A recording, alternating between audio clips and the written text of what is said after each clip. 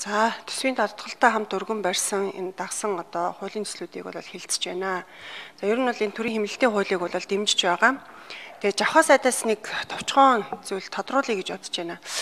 Энэ төрийн хэмнэлтийн тухай хуулийн 13-ын 4-т улсын төсвийн хөрөнгө оруулалтаар хэрэгжүүлэх төсөл арга хэмжээний жагсаалтад тусахыг хориглох зохицуулалтад нийтийн эзэмшлийн байр орон сууцны засвар шинжилгээг хамруулах гэж орж ирсэн байгаа тийм.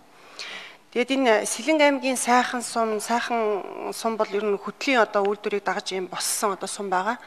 Тэгээд энэ сумын нийтийн эзэмшлийн 30-аад орон сууц бол өвөлдөө бол маш хүүтэн орон нутаг энэ орон сууцны найдвартай хэвийн одоо үйлчлэгийн ажиллагааг бол хангаж явах бол маш одоо боломжгүй ийм байдалтай байдаг. Тэгээд одоогор бол цөөхөн орон сууцны эсрэг ажил үлдсэн байгаа юм билээ.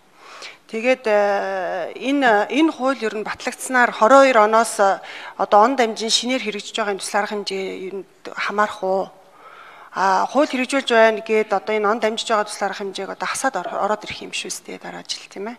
Тэгээд э, хэрв тийм бол одоо энэ зохицуул дээр он дамжиж байгаа төсөл арга хэмжээнд хамаарахгүй гэдэг байдлаар ер нь тодруулах тодруулах ёстой юм байна гэж харагдаад байгаа.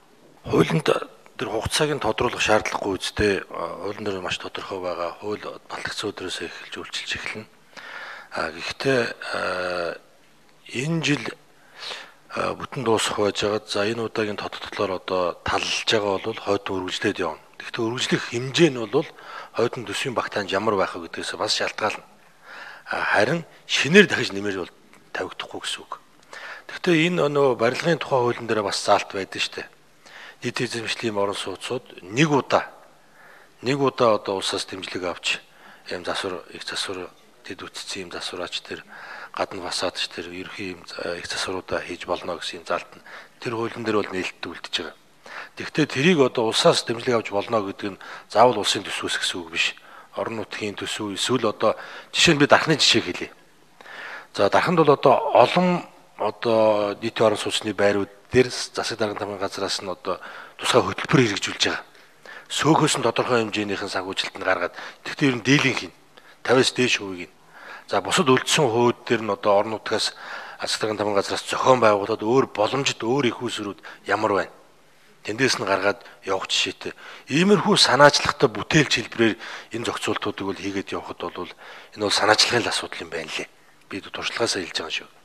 А тийм учраас зүгээр хавтгаар болж нэгэнд хувьчлагдсан. Нийтийн орон сууцны байрчин бол одоо нийтийн л гэж хэлж байгаа болохоос тэр чим өрх болгонд нь ингээ аврад үзэх юм бол бүгд хувьчлагдсан хувийн орон сууцнууд баггүй. Тэгээ тэрийг одоо татвар төлөгчдийн мөнгөөр их засварыг нь хийнэ гэдэг бол тэг хавтгааруулж хийж болох зүйл биш ээ. Зүгээр яг таны хэлдэг бас тийм үндэтгэн үсэг шалтгаанууд байна л да анх одоо улсаас энэ баригдсан бүгд улсын байрууд байсан. Жишээ нь тэр хөтөл тосгонд бол хөтөл зэм жохон үйлдвэрээс барьсан байшингууд. Гэхдээ нэг бүгд ховшлогдсон. Ховшлогдсон бол ховшлогдсон. Тэгээ эндээс цааш одоо шин түүхэн эхэлж байгаа учраас тэрэн дээр нь одоо татвар төлөгчдийн мөнгөөр хувийн байшингуудын нь засварыг хийж өгнө гэдэг бас зохимжгүй асуудлаа. Тэгэхээр тийм учраас энийг одооноос ингээд хязгаарлая. Тий. Өнөөдөр хүртэл явж ирсэн нь бол одоо ингээд явж ирсэн байна, болцсон байна. За цаашаага хязгаарлая л гэж. Тий энэ жил суудсан байж байгаа таллагдж байгаа бол үргэлжлэнэ. Шинээрөө суухгүй л гэж ойлгож байна. За тэр айл өрхлөө 13-ын 4-ийн заалт дээр айл өрхийн ариун цэврийн байгууламж гудамжийн тогтчлт гэдгийг бол улсын төсөөс бол энэ хийхгүй гэж байгаа. Гэхдээ энэ бол юу гэсэн үг вэ? А одоо юу гэдгийг хашааны хажуугаар нийт тэр хашаалуу одоо чиглэсэн дэд үтсийн ажил бол хийгдэх нь нээлттэй. Яг айлын хашаан дотор орж ирээд хийх зүйлийг тэр айл өрөөл хариуцах а айлын хашаанд орж ирээд нойл юм ариун цэврийн байгууламж ингээ хийгээ хэлэхээр улсын төсвийн хөрөнгөөр татвар төлөгчдийн мөнгөөр хийгдсэн тэгэд хийчээд энэ хиний эзэмшилт байх. Нэг айлд ороход айлын нойл нь улсын өмчтөй газар суугаад бие засах болж гинэ.